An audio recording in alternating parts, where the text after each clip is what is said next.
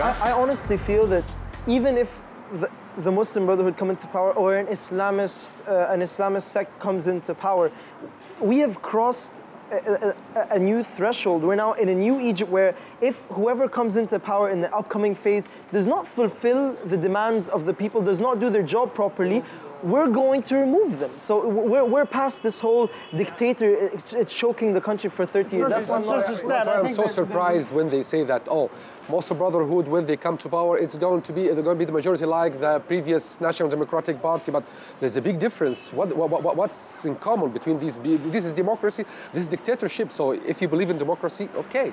But I, I okay, think the, it's, it's not. It's not about dem democracy. Is not about just the rule of, of the majority of people.